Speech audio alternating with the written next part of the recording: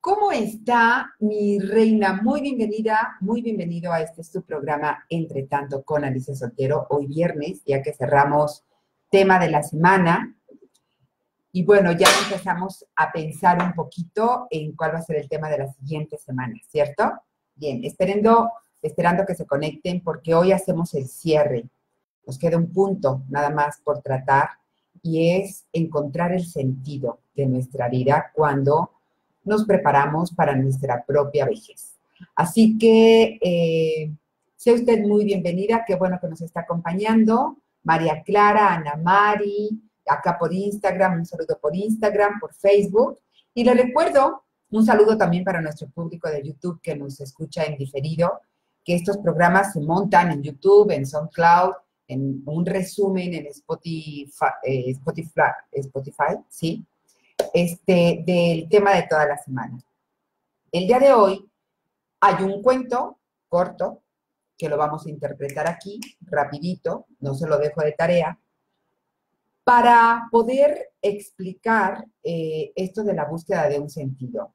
Fíjese, primero, lo primero que le tengo que decir es que el trabajo de la vejez, de encontrar el sentido de nuestra vida, no se refiere en lo absoluto, porque decir, no, bueno, ya a estas alturas, ¿como a qué? Porque a veces interpretamos el sentido de vida con el proyecto de vida, con el qué voy a hacer ahora. Y en la vejez se trata más de ser que de hacer. Así que, eh, de verdad, no se preocupe por eso, porque si no se trata de un proyecto, se trata de un ser, nada más. Pero claro, para poder ser hay ciertas tareas. Ana Mari, ¿están aquí? ¿Está en el Facebook el programa? Yo ya lo vi, sí se quedó. Está en Facebook, así que si tú no tuviste la oportunidad, Ana Mari, créeme que aquí está y estuvo bastante bueno, ¿eh? Bastante bueno, lo recomiendo. Un abrazo, mi querida Mari Rábago, un fuerte abrazo. Eh, espero que todo siga mejor allá y próximamente, bueno, el plan es estar en Phoenix en agosto. Eh, ojalá nos podamos encontrar por allá con todas las personas que están allá en Phoenix. A ver, vamos a ver. Decíamos, cuando nos preparamos para nuestra propia vejez, y no tiene usted que llegar a mi edad ni, rebasarme, eh, este comienzo generalmente empieza a dar destellos más o menos como a los 40. A los 40 es cuando empezamos a sentir estos avisos de que ya es el momento de algo necesito hacer. ¿Cuál es la tarea? Lo hemos platicado durante esta semana y la anterior. Hay que empezar a buscar estos fragmentos nuestros que están dispersos, aquellos pedazos que fuimos dejando en el camino de vida. Y para poder hacer eso, necesitamos, como en todos los cuentos, adentrarnos en el bosque, meternos al pozo. Y esto lo único que dice es ir hacia lo más profundo de nosotros. No lo vamos a encontrar afuera, no lo vamos a encontrar en algún libro. Y esto contestando todas las preguntas. Oiga, ¿en qué libro puedo yo llevar a cabo? Mm, no hay libros para encontrarnos a nosotras mismas. El mejor libro somos nosotros y nuestra experiencia de vida. Ese es el mejor libro. Pero nos tenemos que sentar y leernos a solas, en silencio y escuchar. Porque este proceso se trata más de escucharnos que de hablar. Escucharnos a nosotros que escuchar a otras personas acerca de nosotros. ¿sí?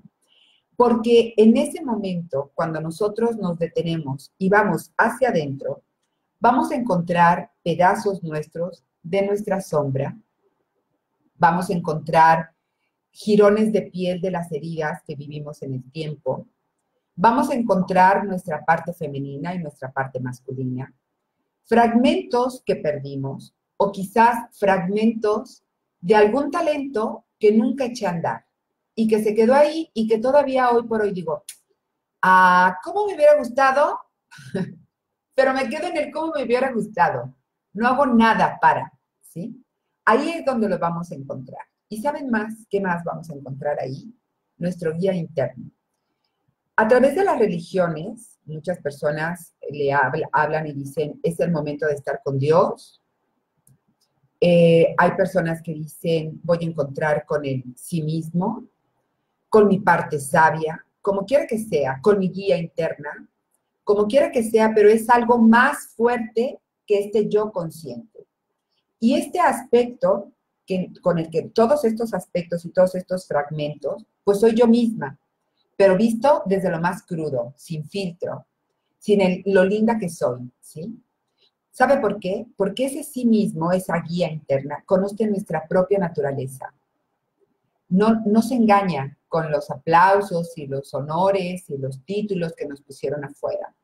Es, Él no se engaña, Él nos se muestra así, tal cual, porque conoce esa naturaleza nuestra.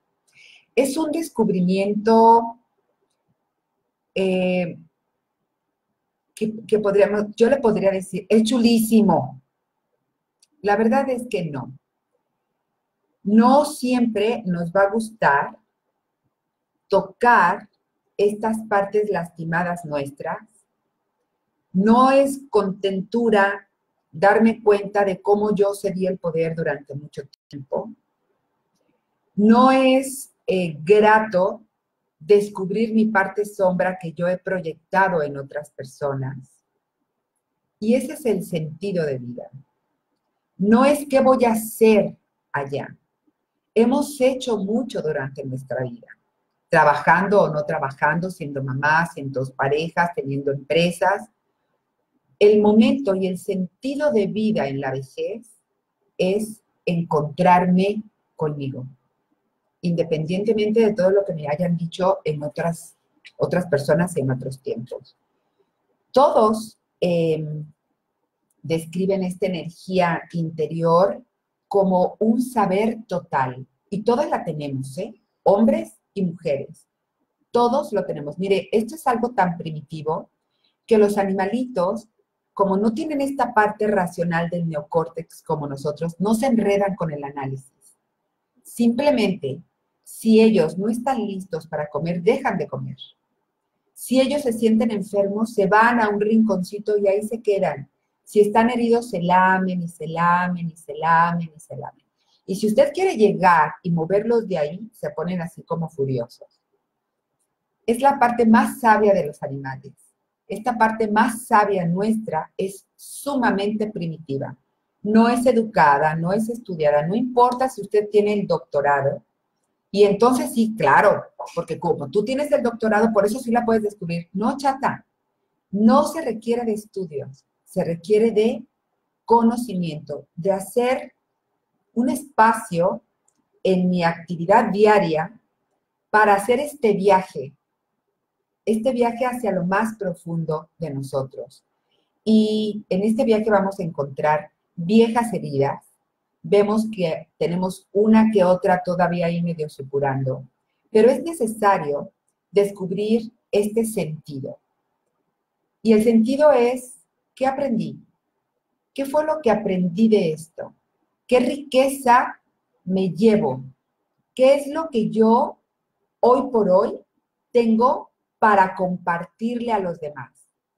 y para vivir de una mejor manera, no sé si me queden 5, 10, 20 o 30 años, no sé, pero con esta riqueza voy a comprometerme conmigo, porque ya, pues el hijo ya no está, al menos lo espero, ¿no? Que a esta edad ya los hayamos dejado volar. Ya no tengo que buscar más títulos, sino esta riqueza y todo lo que yo descubro, como aplicarla conmigo. Pero a esta edad necesitamos aprender algo más. Y ese algo más es aprender a estar conmigo. Y necesitamos conocer la manera de encontrar ese sentido de nuestra vida. Y es necesario utilizar algo más que nuestro yo consciente, nuestro yo razonable y racional, ¿sí? Para poder llevar a cabo esta tarea. Y entonces, para hacer eso, bueno, eh, siempre nos movemos, tristemente, porque nadie que está así súper chulo y súper bien y en un momento muy agradable dice, Me voy a dar a la tarea de meditar y de hacer ese viaje interior y de descubrir cuál es el sentido de todo lo que me ha sucedido en la vida. ¿Sabe cuándo nos movemos así? Cuando hay una herida. Cuando pasa algo que oh, nos lleva a, oh, qué tristeza o, ah, qué coraje o cómo me lo pudo hacer o cómo lo permití o me fraudearon, abusaron de mi confianza. La herida siempre nos pone en marcha, pero no hasta los 60, mi reina. Las heridas se van dando. Solamente que en los 30 y en los 20, ¡ah! nos sacudimos. A los 40, la herida es como que nos, ah, nos simbra y nos va simbrando más fuerte en edades más avanzadas. Todas tenemos diferentes heridas. Nadie salió limpito de esta vida, de, esta, de este transitar, de este viaje llamado vida. Todas tenemos heridas, pero cualquiera de estas heridas, muchas o pocas, si nosotros las tomamos, se puede convertir en una motivación para el viaje. Y al envejecer, cuando nosotros envejecemos, muchas de nosotras comenzamos a experimentar una necesidad de sanar, ¿sí? Una necesidad, algo que decimos, esto precisa curación. Y le voy a contar un cuento que se llama, me voy a salir un poquito de aquí para entrar y poner la musiquita, porque le voy a contar un cuento que se llama El pájaro dorado. Este cuento no es muy largo, yo lo voy a hacer un poquito más corto, porque quiero que usted eh, vea ciertos elementos, ya sabe, todos somos nosotros, todos los personajes de este cuento, así como el de ayer de Mama Holly, todos somos nosotros, todos. Entonces, vamos a buscar esa parte, ¿sí? A ver, déjeme ver si la música es lo suficientemente buena. Y ahora sí, necesito que usted me diga cómo está la musiquita. ¿Se oye bien? Por Instagram, por favor, soplenme. Díganme cómo vamos, si está bien o no.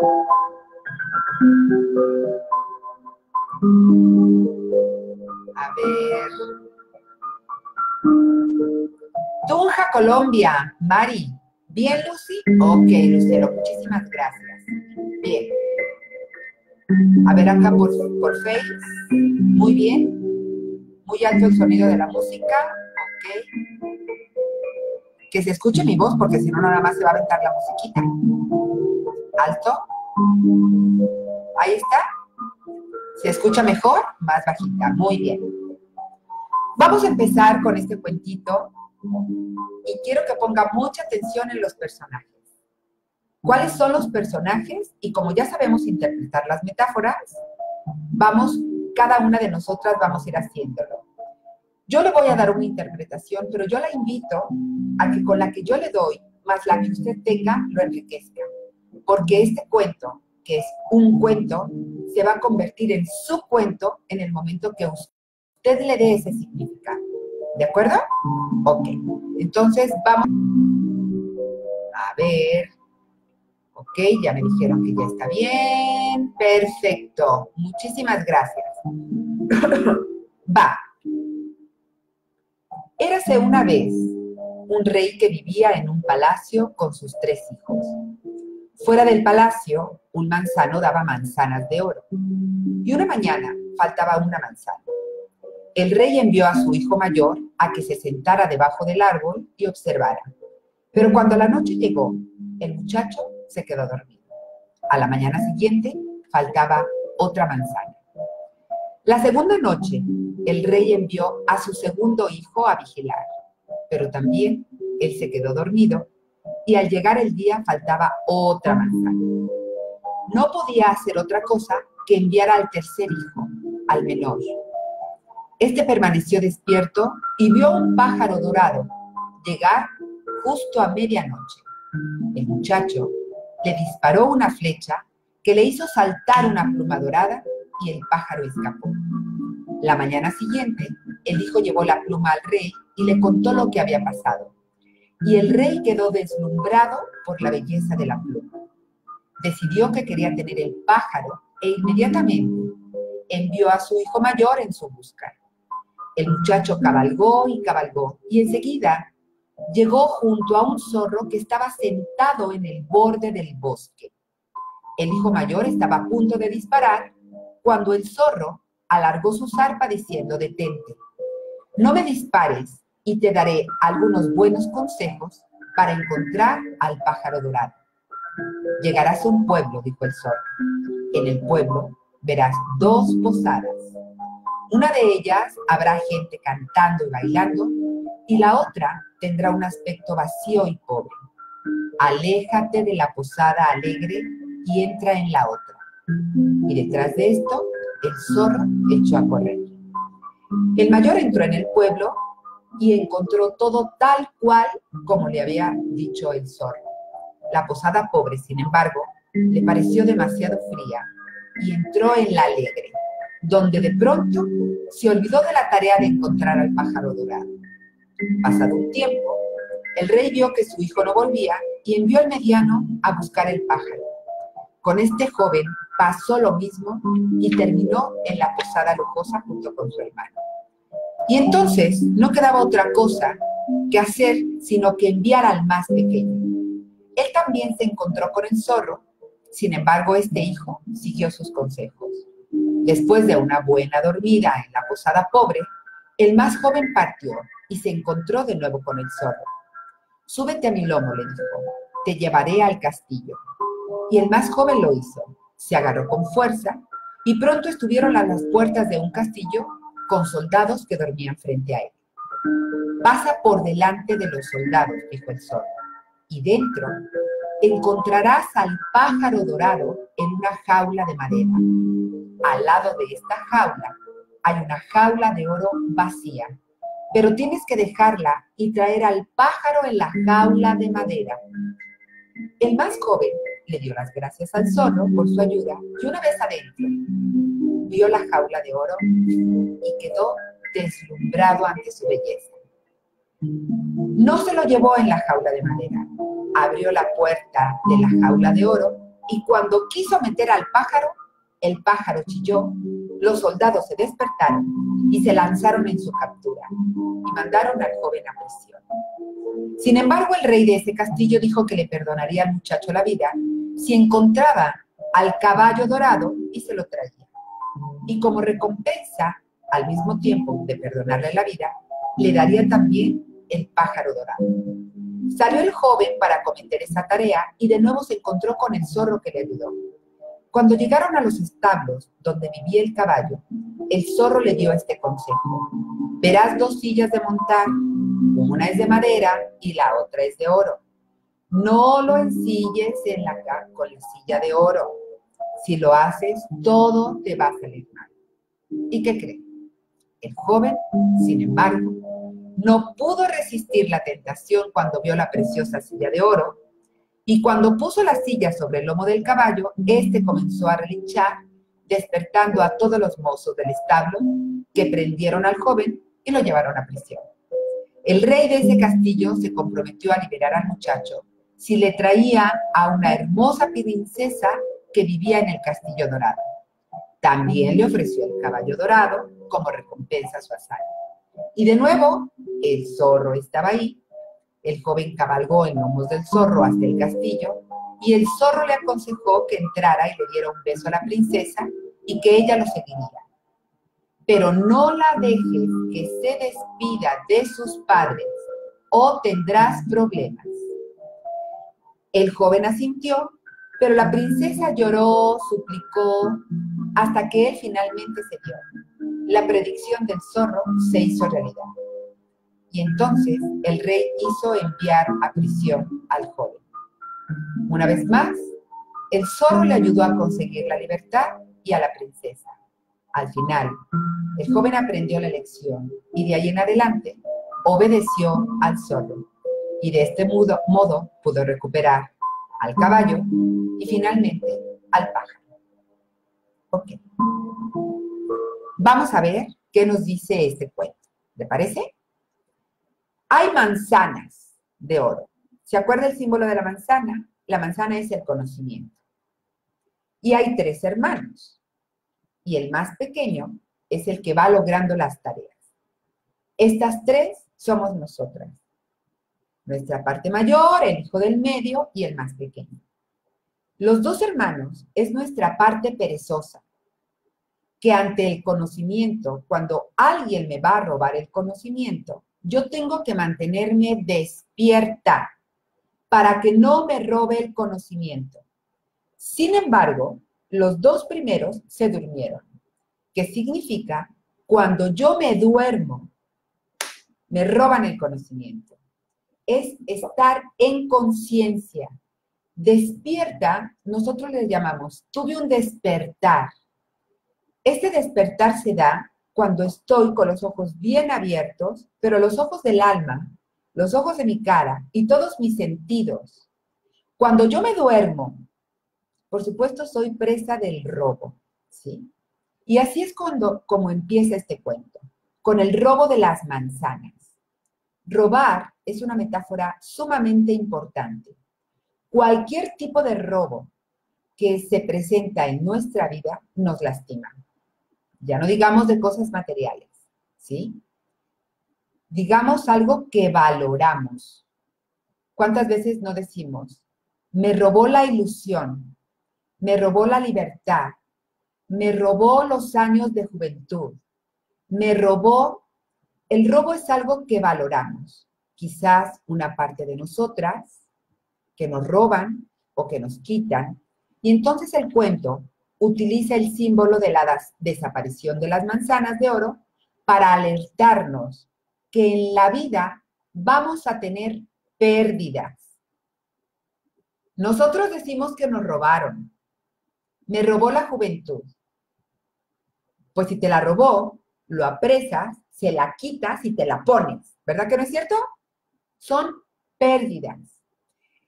Y a veces nosotros, estos robos eran en la noche, ¿se fija? Cuando es un robo en el día, está hablando de, eh, de un robo consciente. El robo puede tener muchas interpretaciones. Robar a la luz del día es transparente y visible y lo podemos ver. Psicológicamente, este tipo de robo correspondería a una clara traición a nosotras mismas. ¿sí? Pero en la noche, el robo está representado en la noche, que es este tipo de robo procede del inconsciente.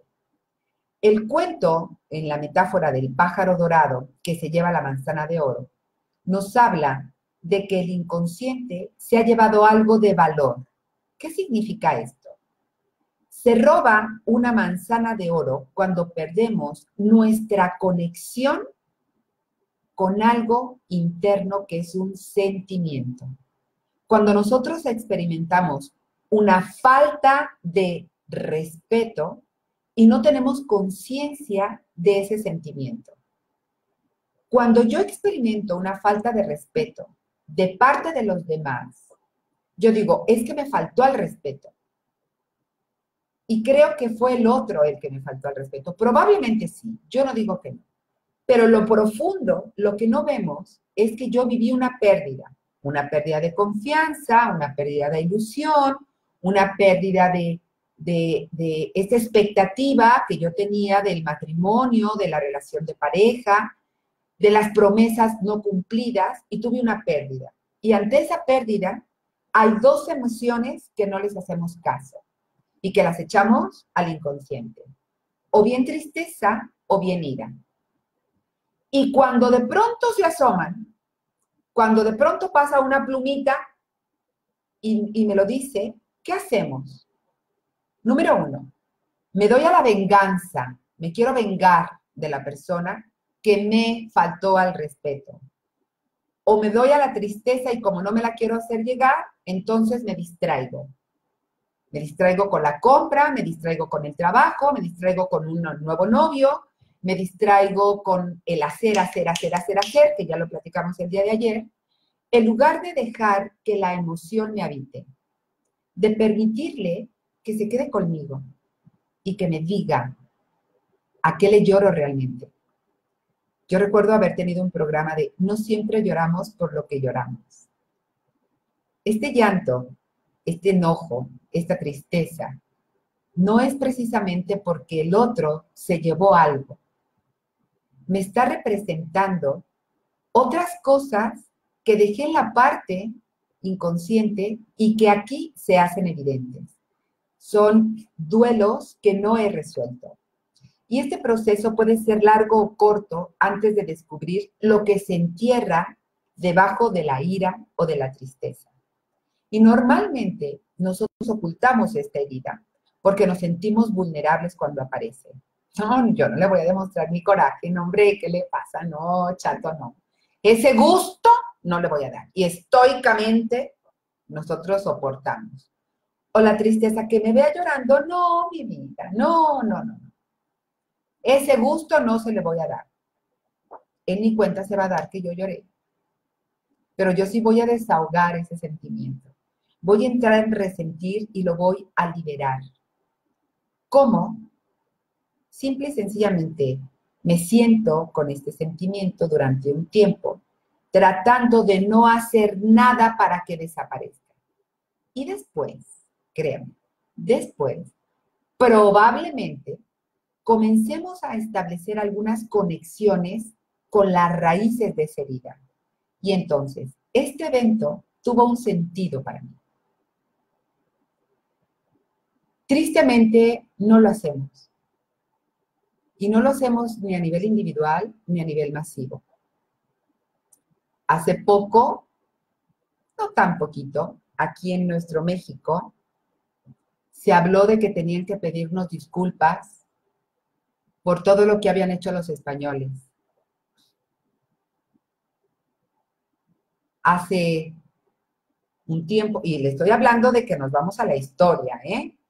como si disculpándose los indígenas de aquel tiempo y nosotros pudiéramos hacer algo. Eh, ¿Se acuerda cuando, y bueno, fue algo muy inventado en nuestro país, y todos los países han vivido este tipo de situaciones, en Argentina se han vivido, recuerdo lo de las madres del 9 de mayo, aquí en México los desaparecidos de Ayotzinapa, lo de la guardería ABC. Y entonces, ante esta herida y ante esta pérdida, lo que no se ha hecho es vivir un duelo, porque seguimos rascando la herida, pidiendo justicia, haciendo marchas, poniendo pancartas, y todo ese tiempo que nosotros estamos revolviendo y culpando afuera y tratando de encontrar al culpable del que me hizo la herida para que reciba su merecido, me ha impedido a vivir el duelo de mi pérdida. Y es lo que hacemos a nivel individual y a nivel colectivo. No nos sentamos a llorar la pérdida, a vivir la pérdida, a sentir el dolor de la pérdida. Por supuesto que no. ¿sí? Por supuesto que no. Entonces, ¿qué es lo que se, se, tiene que hacer ahí? Para encontrarle un sentido a nuestra vida con esta herida, hay que sentarnos y escuchar. Hay otros personajes y otros eventos en el cuento. Ya dijimos, los hermanos es la parte perezosa de nosotros. El hermano menor es el héroe, la heroína que todos llevamos dentro. Este héroe que va en búsqueda de aquello que nosotros hemos perdido, pero es el que va en búsqueda del sentido, ¿sí? Pero esta parte de héroe es humana y lógicamente también se deja atrapar. No es la parte perezosa, no, pero se deja atrapar por lo que brilla. Los hermanos por la pereza se quedaron dormidos. Entraron a la posada de la alegría en lugar de la pobreza. ¿Qué significa entrar a la posada de la alegría? Pues cuando nos vamos de fiesta, cuando queremos distraernos, cuando no queremos pasar la incomodidad de estar en donde no hay nada, porque hay silencio, está fría, ¿no? Pero en el silencio y en el frío del invierno, que hablábamos el día de ayer, es donde nosotros podemos aguardar a que pueda pasar este, este deshiele y empiece esta semillita a crecer. Porque el hecho de que no veamos vida mientras está todo gélido no significa que no exista. Hay vida debajo de todo esto que vemos. Hay aprendizaje, hay crecimiento. Que no lo veamos no significa que no exista. ¿Sí? Mire, las plantas no saben nada de clorofila ni de fotosíntesis y son verdes. ¿Verdad? Ah, bueno, pues pasa lo mismo con estas situaciones. Esta parte de héroe es joven, es inexperto y es humano, pero siempre se asesora de una parte intuitiva que es el zorro. El zorro es esa parte primitiva que nos dice por aquí y por acá. Y cuando lo escuchamos, nos va muy bien. ¿Se acuerda cuando hablábamos de la intuición al día de ayer? Eso es lo que está representando el zorro. Esta parte intuitiva en donde nos dice, pero si lo haces de otra forma, te va a salir mal. No agarres lo que brilla, no todo lo que brilla es oro. No te vayas con el satisfactor inmediato. No quieras ser voraz tomando más de lo que ahorita puedes procesar. Esa es la parte instintiva y la parte intuitiva. No, si yo puedo ganar un poquito más, pues lo tomo, ¿no? cuando una parte nuestra nos dice, pero no todo, solamente un pedacito. Esta parte héroe es la misma nuestra, pero es humana. Y entonces, ¿qué hacemos? ¿Batamos la humana? No, por Dios, si es lo único que tenemos para manejarnos aquí. Va a un lado de la parte racional y humana, está la parte intuitiva. Escúchala. Es el momento de escucharla no de hacer, no de tener, es el momento de ser. Y si yo me siento, ¿sí? A escucharlo, voy a tener, créame, grandes tesoros. Pero si yo me dedico a la justa indignación, estoy actuando la ira en lugar de vivir la pérdida y de dolerme por la pérdida. Y de darle espacio al dolor y llorarlo para sanarlo porque la herida se sana con la sangre de la misma herida. ¿Sí? Entonces, esto es algo que nosotros necesitamos retomar, hacer. Fíjese cómo los niños, los niños lo hacen, ¿eh? Los niños lo hacen, más que los niños pues están muy verdes y todo quieren, todo quieren, todo quieren, todo quieren. ¿Sí? Y si no entran a un cuarto oscuro, dicen, no, ¿quién sabe qué hay ahí adentro? ¿verdad? Es como se detienen.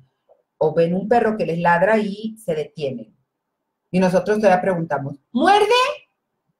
Claro que muerde, te está ladrando, chata. Te va a morder, pero, oiga, ¿muerde? No lo está viendo con los pelos de lomo así. Ah, bueno, pues hacemos exactamente, porque lo que quiero es tocar al perro, apapachar al perro, pero el perro me está diciendo, no te me acerques mucho, soy medio nerviosito, por eso te ladro. ¿sí? Entonces, bueno, sí, es un cuentazo, Liliana. Este es un cuentazo. ¿Qué necesitamos hacer? Encontrarle un sentido a lo que hemos vivido y aplicarlo. En lugar de proyectar, en lugar de culpar, en lugar de tragarme la ira, en lugar de depositarla afuera, es quedarme y decir, ¿qué hay debajo de ¿Qué hay debajo de esta ira? Yo generalmente le digo, ¿y si fuera tristeza, qué tristeza por qué o para qué o de qué? Y cuando me dicen que está muy triste, yo les pregunto, ¿y si fuera ira de qué? Si esta tristeza fuera coraje, ¿por qué sería coraje? Como para ayudarnos a conectar, ¿sí? Pero cuando nos vamos con lo que brilla, cuando nos dejamos deslumbrar por el atajo, puedo llevarme al pájaro y al mismo tiempo la jaula de oro, acabamos en esa posada lujosa, confundiendo la acción con el sentido de la acción, la pérdida y el duelo, en lugar de transformarse en algo incluso mejor, se transforma en algo peor, como odio, culpa, codicia, cuando no nos damos la oportunidad, ¿sí? Así que no se culpe por las patas que metemos, créame de verdad. El hijo pequeño del cuento es esta energía del héroe que está dispuesto a buscar. Y todos lo tenemos, ¿eh? Quiere saber más. Es esta parte de nosotras mismas que está decidida a permanecer despiertas para descubrir cuál es el problema aquí y entonces seguir el viaje. Pero esta energía del héroe dentro de cada uno de nosotros no puede trabajar sola. No puede trabajar sola. También tenemos este zorro que nos está esperando ahí sentadito. Es esta energía intuitiva, instintiva, y nos dirige con una precisión asombrosa si sabemos escucharla. De verdad, asombrosa. Y aprender a escuchar no es fácil en nuestra cultura. No es fácil, ¿sí? Las mujeres estamos inundadas de normas, de reglas, de modas, de valores externos, de, expectativas, de demostrar, de querer demostrar algo. Yo digo, ¿cómo para qué, hombre? Demostrarle como a quién. Sobre todo ya a esta edad, ¿no? Demostrar que es mejor encontrarle el sentido a todo lo que he vivido y todo lo que perdí y qué fue lo que gané de mí perdiendo aquello. Porque acuérdese, Joan Garriga lo dice de una manera maravillosa. Hay que aprender a perder sin perdernos y a ganar ganándonos. Es necesario cultivar y hacer este viaje eh, y hacer valer esta energía intuitiva a pesar del hecho de que la mayoría de la gente no cree en realidad en un zorro interno. No cree. Ay, no. O lo confunde con un presentimiento. Y yo le digo, la intuición, esta energía intuitiva, siempre nos invita. Es algo que nos invita. Y si no lo tomamos, y si mejor nos vamos por aquí, no nos dice, peligro, no. Nos invita, no me late ir. No es algo que me, que me sea así como de mucho agrado, no me late. Y si mejor lo dejamos pasar, y si ahorita no. El y sí es una invitación. El peligro es el diálogo interno. Así que encontrar el sí mismo de cada una de nosotras, el sentido de nuestra vida, es un un proceso largo, de mucho tiempo, atestado tanto de dificultades como de oportunidades para poder tomar decisiones acertadas. A veces tomaremos decisiones erróneas, pero siempre tenemos la oportunidad de redireccionar el camino. Si nos movemos demasiado deprisa porque ya le quiero encontrar el sentido a mi vida, híjole, vamos a entrar a la cabaña, este, lujosa, vamos a agarrar la jaula de oro, vamos a agarrar la silla de montar dorada, le voy a dar chance a otras personas que hagan las cosas antes que yo, ¿sí? Y, y eso significa que nos llegamos ante el resplandor del oro y descuidamos estos pasos necesarios por nosotros y acabaremos pues con pájaros que chillan, con caballos que despotrican, ¿sí? La mayoría de nosotros hemos tenido algo de esto en nuestra vida, ¿verdad que sí? ¿A que sí? Y hemos errado terriblemente, sí, muchas veces, muchas veces. Pero también hemos tenido muchos aciertos y también podemos redireccionar el camino, también. Y no importa si tienes 60, 70, 80, 40, 50, siempre, siempre se puede redireccionar el camino. Así que, bueno, esta semana y la pasada estuvo jugosa. Yo se lo dejo ahí, es decisión suya. La opción ahí está, es otra manera. Cuando yo le digo algo que aprendí con Teresita Coronado que decía, siempre hay otra manera, que a mí me ha servido muchísimo esta frase, a ver, ahorita no sé por dónde, siempre hay otra manera. Y lo dejo, y lo suelto, y llega. Nomás es cuestión de escucharnos, así como ese domingo en donde estaba yo muy enojada, queriendo que alguien me cuidara, y lo único que necesitaba era descansar. Vamos a ver a ver qué me preguntan por aquí. Rocío, muchas gracias, Rocío, hermoso cuento. Los miedos los podemos confundir con la intuición, sí, ya lo acabo de decir, al, este, Patti. Los miedos, el miedo es el diálogo interno, ¿sí? Es este diálogo interno. Y a veces el miedo nos paraliza. Alessandra, cuando me dices, cuando robas nuestra propia identidad, ¿a qué te refieres específicamente? ¿A qué te refieres específicamente? Porque no, no quiero hacer una inferencia. Déjeme ver a ver si me mandaron algún WhatsApp. Ok.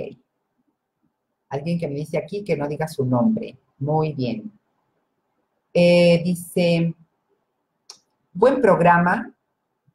Yo estoy en una lucha. Mi cuerpo se siente cansado y sin fuerza y solo quiero dormir.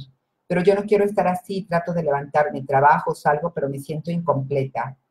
¿Y por qué no escuchamos al cuerpo? ¿Por qué no le doy ese descanso? Mi cuerpo solamente se recupera a través del descanso, ¿eh? Solamente a través del descanso.